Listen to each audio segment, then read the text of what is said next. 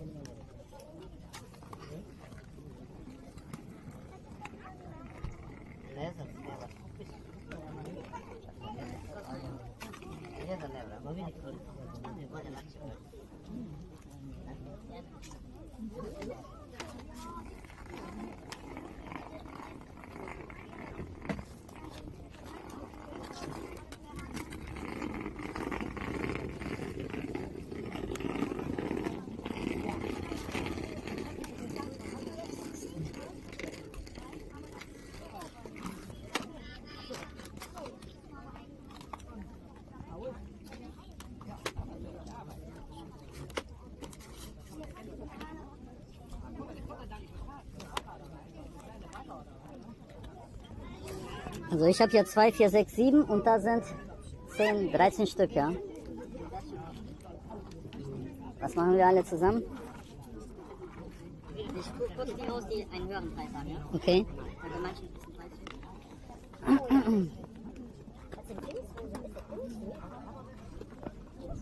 ist günstig, 10 Euro. Günstig? Das kostet Wirklich? nur 10, ja. Ja, der ist ja super. Wo die bitte? Ich sag erstmal, was eigentlich kosten würde und dann, was ich machen kann. Okay, aber die Blu-rays kosten ja normalerweise wie viel? 3 Euro, ne? Hast Ja, äh, außer da, wo was dran steht, normalerweise. so, okay. Aber alles gut, machen wir schon.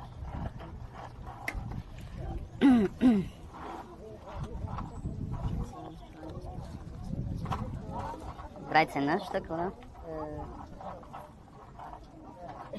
Ja. Wären 46 mit den Preisschildern zusammen, Okay. ähm, würde ich 35 machen. 30 nehme ich mit. Kosten zwei. Ja, die Figuren ein. Das kostet 10. Ist gut? Äh, 35, kann ich schon. äh, die allein sind normalerweise 5, 11, 16, 22, 27. Okay. Ja, ich habe dir ja deswegen 3 Euro gerechnet. Ja, okay. Ja, 35 kann ich anbieten. Kostet 25.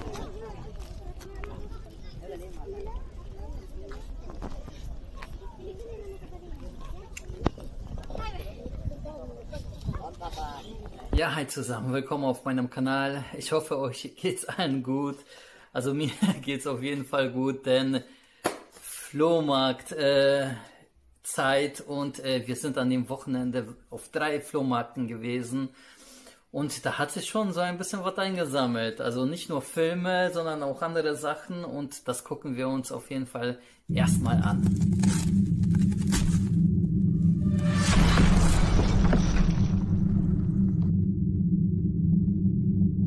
So, das ist der erste Stand äh, am Samstag gewesen und der hatte schon ähm, gute Filmchen dabei. Ja, also ich sag mal so, der meinte auch selber, der wollte für die Filme 3 Euro das Stück, außer ähm, auf manchen Filmen ist ja der Preis drauf gewesen, meine ich, ganz genau. Auf 1, 2, 3, 4, 5 oder so Blu-rays war der Preis drauf und ähm, ja, der wollte dann halt äh, für die Filme ein bisschen mehr haben. Aber wir haben uns hinterher ein bisschen geeinigt.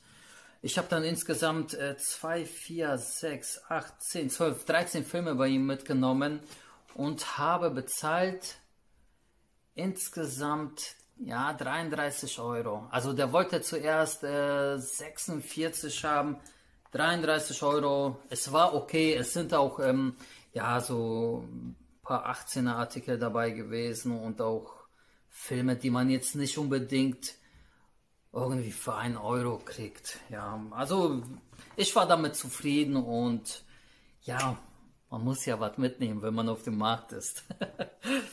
ja, der erste Film ist Undisputed 3. Ja, ihr seht selbst, der wollte hier für 5 Euro haben.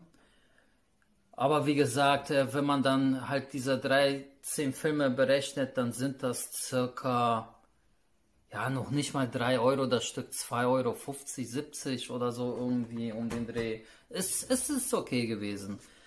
Dann der zweite Film, Wild Wild West. Da war ich auch im Kino. Wow, der ist schon so lange her. Also ich fand ihn damals echt nicht schlecht mit Will Smith und der Film ist, meine ich, auch derb gefloppt im Kino. Aber macht nichts. Film ist auf jeden Fall unterhaltsam. Dann habe ich hier einen Film, den ich überhaupt noch nicht kenne, mit Daniel Radcliffe. Und zwar Swiss Army Man. Hab noch nie was davon gehört. Keine Ahnung. So, der nächste Film. Der zweite Teil ist zurzeit im Kino und auch recht gut erfolgreich. Hier der erste Spider-Man, A New Universe. Ja, auch nicht schlecht. So, dann haben wir einen J.J. Äh, Abrams Film, Produzent Steven Spielberg und zwar Super 8. Ich finde ihn richtig klasse. Also mir hat er sehr gut gefallen und den habe ich auch noch nicht in meiner Sammlung gehabt. Mitgenommen. So, dann den Extended Director's Cut mit Daniel Craig, Harrison Ford und Olivia Wilde. Cowboys vs. Aliens oder Cowboys and Aliens. Ist auch nicht schlecht, der Film. So, der nächste vom Regisseur von Gladiator, Exodus. Ich glaube, den habe ich noch gar nicht gesehen. Mit Christian Bale. Ja, wird irgendwann gesichtet. In der Sammlung ist er ja jetzt auf jeden Fall. Dann Leonardo DiCaprio, ein, äh, DiCaprio, ein Martin Scorsese-Film, The Wolf of Wall Street. Für das Geld, es ist okay. Und dann habe ich hier einen Film gefunden, den ich äh, noch gar nicht kenne. Ähm, und zwar Jasper Park, Ausflug in den Tod. Ich weiß nicht, ob den jemand kennt. Texas Chainsaw Massacre trifft auf Severance. Keine Ahnung, knallharte Action in bester Wrong Turn, Wrong Turn Manier. Kenne ich nicht. Ich glaube nicht, dass ich den gesehen habe. So, der nächste Film mit äh, Seth Rogen und Zac Efron, Bad Neighbors 2. Also der erste ist klasse auf jeden Fall. Der erste ist so geil. Ich habe mich da so weggelacht. Der zweite, ja, ist schon ein bisschen schlechter, aber es ist okay. Ist okay. Und dann der nächste Film, Piranha. Ja, ihr seht es ja selbst. Der wollte 6 Euro dafür und hinterher sowieso auf umgerechnet, ja, unter 3 Euro geeinigt. Das ist okay. Und den habe ich auch gestern vorgestern schon geguckt. Oder? Nee, gestern, gestern. Quatsch. Ja, also auf jeden Fall gestern schon geguckt. Ähm, ja. Der Anfang hat mir jetzt nicht so wirklich gefallen mit den Effekten. Das sah schon ein bisschen billig aus mit den Piranhas. Ähm, aber es ist okay, macht Spaß. Also Effekte sind auch nicht äh, alles. Ne? Also wenn die Effekte gut sind, dann ist es halt gut. Aber ich kann damit leben. Ja, der nächste Film ist äh, ein Film mit Dwayne The Rock Johnson und zwar Hercules Extended Cut. Noch nicht gesehen. Bin gespannt, auf jeden Fall. Und dann der letzte von diesem Stand Zorn der Titanen. Ja, ich glaube den zweiten, weil der erste ist ja Kampf der Titanen und das ist dann der zweite. Ich glaube nicht, dass ich den zweiten gesehen habe. Cool, auf jeden Fall. Das ist der eine Stapel gewesen. Das sind dann insgesamt so viele Filme für 33 Euro. Es ist okay. Also, ja, man hat ja auch nicht immer Glück, ne, dass man die Filme dann für 50 Cent oder 1 Euro kriegt. Das ist ein bisschen selten, aber das ist okay. Also auf jeden Fall. Weiter bis zum nächsten Stand.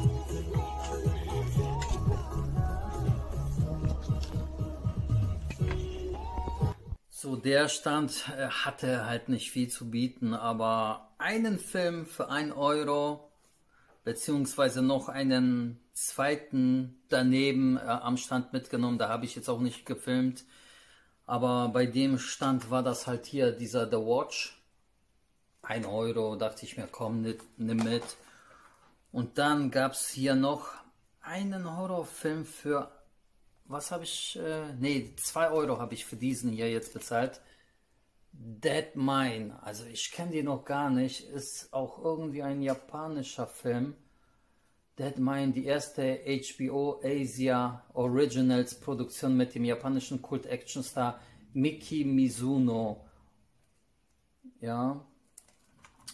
Sah auf jeden Fall interessant aus. Bestimmte Dinge sollten nicht ans Tageslicht gelangen. Ja, dann halt beide für 3 Euro. Es ist okay. Weiter bis zum nächsten Stand.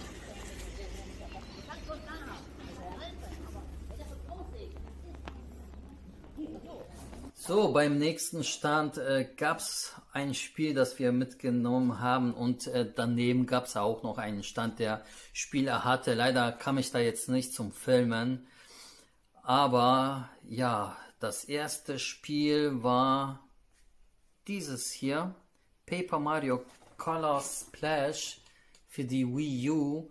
Da wollte normal 15 Euro dafür, Sohnemann meinte dann 10er, meinte der, ja, Klar, dann für 10 Euro mitgenommen. Echt cool. Also hat sich auf jeden Fall gelohnt. Dann daneben gab es jemanden, der hatte hier dieses Tetris für die Gameboy. Das Spiel da gehabt und ah, nehme ich mal so raus. Für 50 Cent dachten wir, komm, kann man immer wieder gebrauchen, ja. Für 50 Cent auch mitgenommen. Dann noch ein Spiel für 1 Euro für die Wii. Und zwar hier Mario und Sonic. Nimmst du mit für das Geld, wieso nicht? Dann gab es noch für die Wii das Spiel Avatar, der Herr der Elemente ich meine, für 1,50 war das. Haben wir noch runtergehandelt von 4 Euro oder so auf 1,50. Nimmst du dann mit. Da haben die Kids auf jeden Fall was zum Zocken. Und dann noch ein Spiel für 1 Euro. Die wollten auch zuerst zwei haben, meinten wir eins. Also der Sohnemann. We Play. Klar. 1 Euro. Und hier, ich meine, hier ist auch Tischtennis dabei. Das macht Bock auf jeden Fall. Da mache ich die später ein bisschen fertig. Die werden sich wundern. Also Tischtennis. oh Mann, da hat keiner gegen mich irgendwie eine Chance. Auf jeden Fall. Das ist so geil. Ja, das war der Stand mit den Spielen und ähm, beziehungsweise, ja, wir gehen mal weiter bis zum nächsten Stand.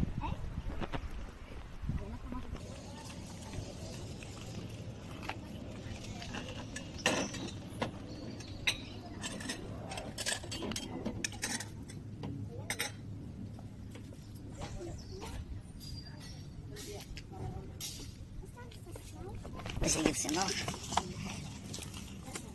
Ja, guck mal, der Boss. Ja, wie der Boss. Bin ich der Boss? Ja, natürlich. So. So, der nächste Stand, der hatte sehr viele lustige Taschenbücher da. Und äh, ja, der Sohnemann, der ist verrückt danach, der liest die die ganze Zeit äh, quer durch. Und der sammelt die mittlerweile auch. Und das sind halt die, die wir da gekriegt haben, zu je 1 Euro. Das, da kann man nicht meckern, ja. Also hier einmal dieses lustige Taschenbuch. Reif für die Insel. Dann der erste Held von Olympia. Und dann findet Donald, also eine Anspielung auf Findet Nemo oder was? Dann frohes Fest in Entenhausen. Und noch hier das letzte. Fair geht vor. Ja, das haben wir dann an diesem Stand äh, für den Kleinen mitgenommen und der ist natürlich glücklich. Weiter geht's bis zum nächsten Stand.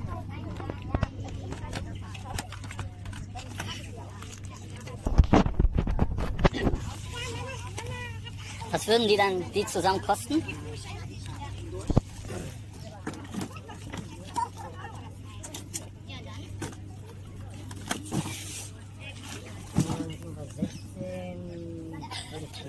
Sehr gut, für 12 nehme ich. So, der nächste Stand, der wollte auch 2 äh, Euro für Filme haben. Hab dann insgesamt wie viele 13 Filme mitgenommen und hab 15 Euro bezahlt. Also eigentlich ist er ja wirklich runtergegangen von 26 auf 13 Euro, ne, auf 15 Euro, weil es 13 Filme sind. Wahnsinn, also hat sich auf jeden Fall gelohnt. Ja, also den habe ich auf jeden Fall noch nicht gesehen. Und zwar geht es um die Wurst Sausage Party. Was für Erwachsene. Also da habe ich so Bock drauf gehabt. Also ein dreckiges Meisterwerk. Geil, auf jeden Fall. Den wollte ich schon die ganze Zeit haben. Habt ihn auch gefunden. Dann halt Evil Dead, das Remake. Die Spio JK Version. Ich weiß aber nicht, ob es davon noch eine. Gibt es da noch den Extended Cut? Ist das denn? Weil es gibt ja diese FSK 18, na klar, die ist geschnitten. Das ist jetzt die Spio JK. Aber ich meine, es gibt noch einen Extended Cut. Oder ist das die Spio JK, die Extended Cut Edition? Wenn halt nicht, äh, wenn es nicht die komplett uncut ist, dann wird er halt äh, getauscht oder wie auch immer. Den werde ich dann los, weil wenn dann nur uncut, aber ich war mir jetzt nicht sicher und ähm, auch wenn ich den jetzt nicht mitgenommen hätte, hätte ich wahrscheinlich eh dasselbe bezahlt. Deswegen dachte ich mir, nimm den mit und dann kannst du immer noch zu Hause schauen, ob, äh, ob der uncut ist oder nicht. Aber ich meine, das ist nicht die Extended Cut Edition. So, dann einen Film, den ich noch gar nicht kenne. Hango Hangover meets Scream, 100% uncut. Äh, feiern bis der Tod kommt. After Party. Kenne ich noch gar nicht. Hört sich aber echt gut an. Diese Party wirst du nicht lebend verlassen. Cool. Auf jeden Fall. So, dann einen Film mit Jason Statham, die Extended Version von Death Race.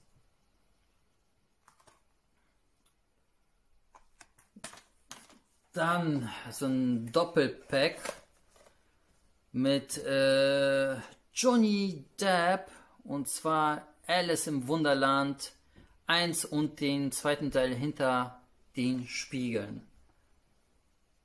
Ja, in so einem Schuber. Geil. Die habe ich dann auch in der Sammlung. Voll cool. Hammer. So, letztens habe ich ja schon den äh, TED 1 letzte Woche, glaube ich, mitgenommen oder so. Und jetzt TED 2. Somit habe ich jetzt auch beide Teile in der Sammlung. Für 1 Euro, paar gequetschte kann man nichts falsch machen. So, dann Adam Sandler und Sama Hayek, Kevin James und Chris Rock. Wahnsinn, also nur Top-Schauspieler. Kindsköpfe 2. Wie gesagt, ich muss auch ein paar Komödien in der Sammlung haben. Nicht nur Action, Horror und was weiß ich. Mastered in 4K sogar. Cool. Mitgenommen.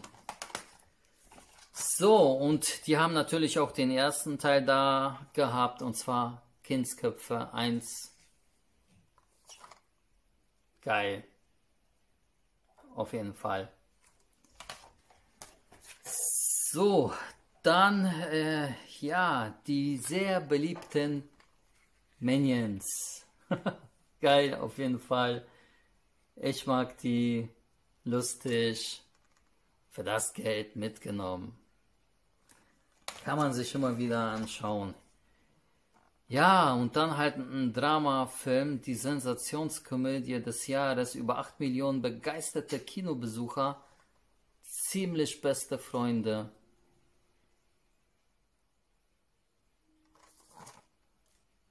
Den habe ich jetzt auch in der Sammlung.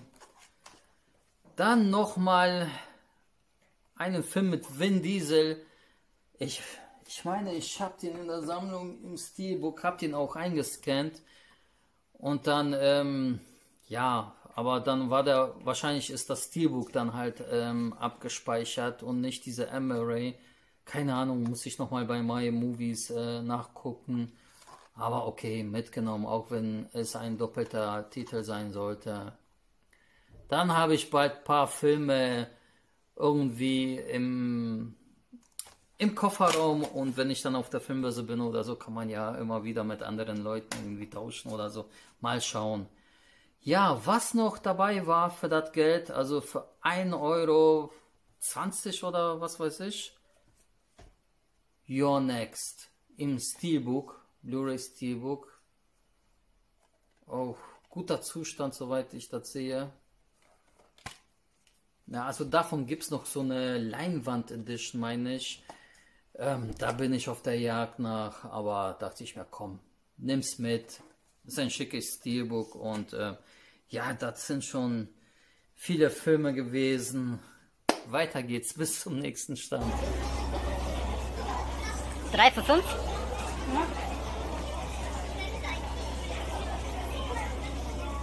So, der nächste Stand, der hatte drei Filme da. Für insgesamt 5 Euro dachte ich mir, komm, nimm mit, wieso nicht. Der erste ist Die Verurteilten. Ein klasse Film, ja, mit Tim Robbins.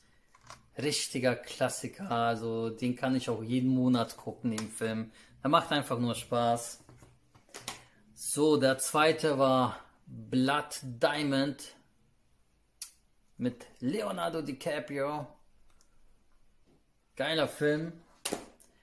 Und der dritte Film, ja, ich habe mir letztens diese Trilogie der originalen Filme gekauft, äh, Teil 1 bis, bis 3. Und zwar Robocop, den ersten auch jetzt geguckt. Ja, der ist klasse, ne? Der erste. Und eventuell heute oder morgen gucke ich mir den zweiten Teil an und irgendwann dann halt den dritten. Und wenn ich dann mit der Trilogie fertig bin, schmeiße ich den hier rein.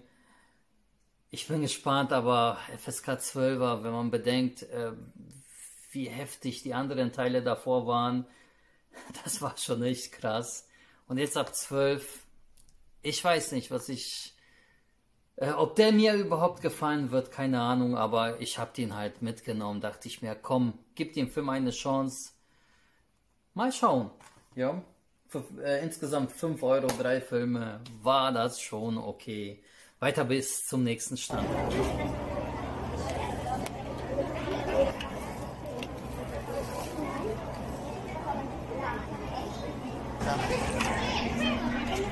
Entschuldigung? Ja? 4 für 3? Machen wir. Ja? Hast du 3 Euro? Nein. Am nächsten Stand habe ich insgesamt vier Blu-rays mitgenommen und äh, in einem gab es sogar zwei Filme, also in einem Keep Case gab es eine Zwei-Film-Kollektion. Ähm, also es ist halt eine Zwei-Film-Kollektion in, äh, in diesem Keep Case und da habe ich insgesamt für diese vier Stück drei Euro bezahlt. Geil, also da kannst du nicht meckern. Also als erstes äh, war es Kingsman, zwei Filmkollektion. Ja, wenn man bedenkt, die wollten schon alleine dafür eine Euro haben und äh, die Box beinhaltet ja zwei Filme. Das ist ja geil. Also ja, Hammer. Und dann mit Nicolas Cage und Eva Mendes, Bad Lieutenant. Ja. Hammer. Dann eine Komödie wieder mal mit Robert Downey Jr. Stichtag. Geil, auf jeden Fall. Und der letzte, vierte, also vierte Keep Case Variante ist dann Cargo gewesen. Cool, den habe ich auch noch nicht in meiner Sammlung gehabt. Und wie gesagt, das alles insgesamt für 3 Euro. Also wer das nicht mitnimmt, Wahnsinn. Das nimmst du mit. äh, Schon alleine wegen Kingsman. Also geil. Also auf jeden Fall, das hat sich gelohnt. Weiter bis zum nächsten Stand.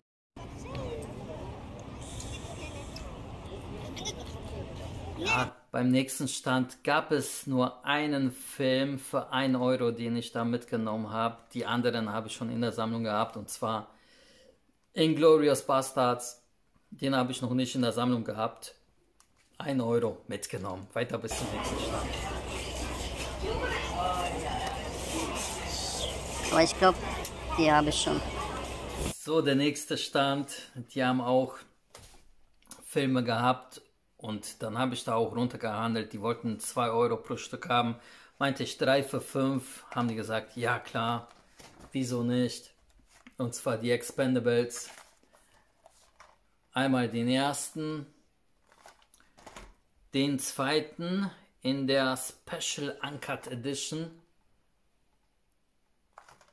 und den dritten in dem Extended Director's Cut. Ja, dieses Jahr erscheint ja noch Teil 4 da bin ich echt gespannt drauf. Da werde ich auch auf jeden Fall ins Kino gehen, weil äh, muss einfach sein, ja. Und ich bin echt gespannt auf den vierten Teil, wirklich. Wie wird das so? Weil die haben sich ja auch richtig Zeit gelassen. Ich meine, wann war der, vierte, der dritte erschienen?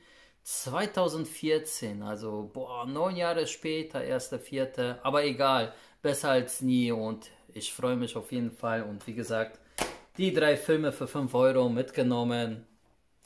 Weiter bis zum nächsten.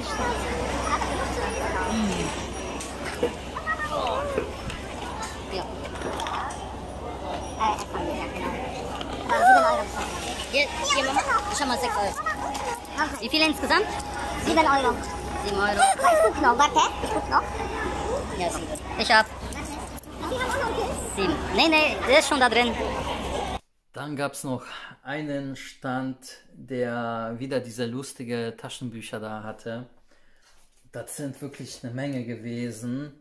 Und die wollten, glaube ich, auch 1 Euro das Stück haben. Es sind insgesamt so viele da gewesen. Also das ist der eine Stapel. Boah, den zweiten Stapel schaffe ich gar nicht in die Hand zu nehmen. So viele. Das, das. Oh Gott. Oh. Und das auch noch.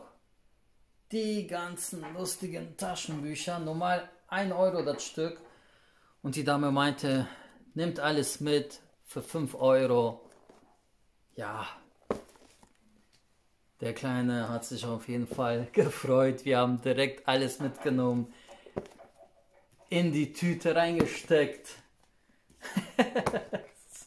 das alles. Insgesamt 5 Euro. Oh Gott, das passt ja gar nicht mehr rein.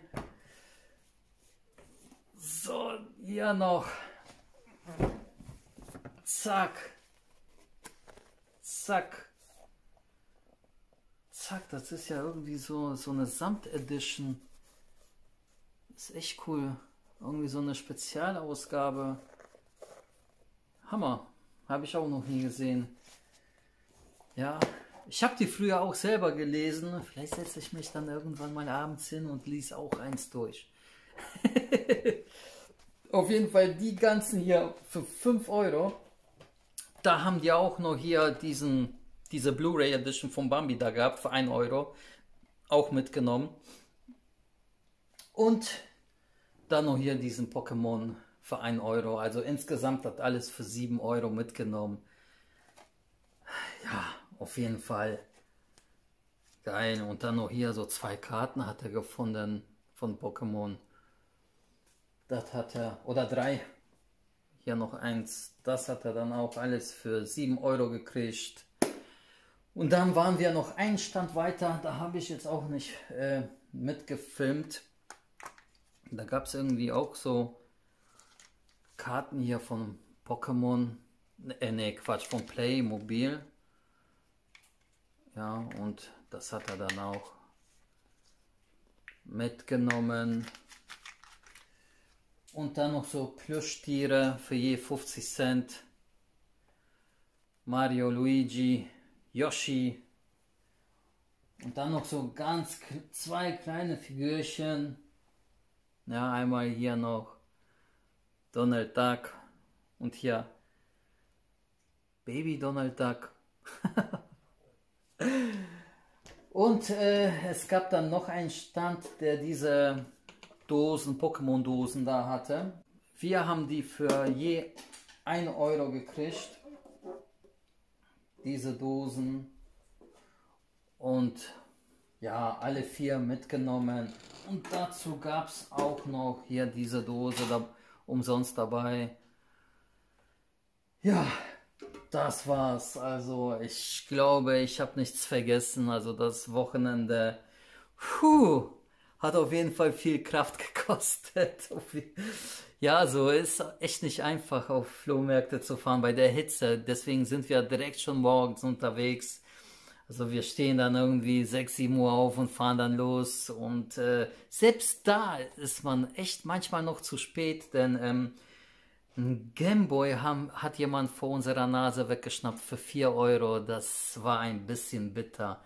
Für 4 Euro. Und da haben wir direkt die ganze Zeit eigentlich danach gesucht. Und ja, paar Minuten zu spät gekommen, aber auch nur deswegen, weil wir zuerst auf einem anderen Markt waren.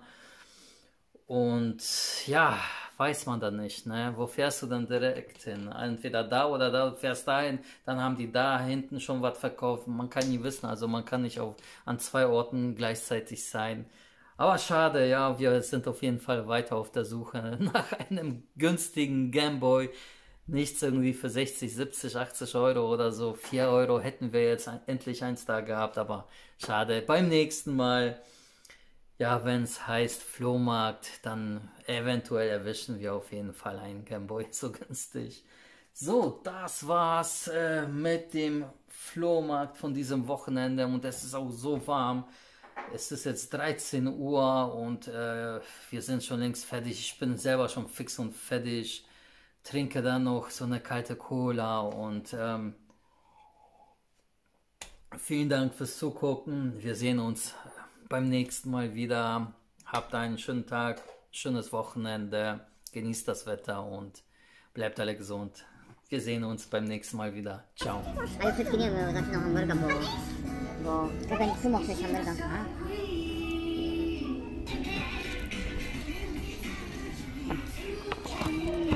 Andere schicken mit Nachrichten. Andere, no. Und ich will trinken mit dieser Teil. No, no, fajnie.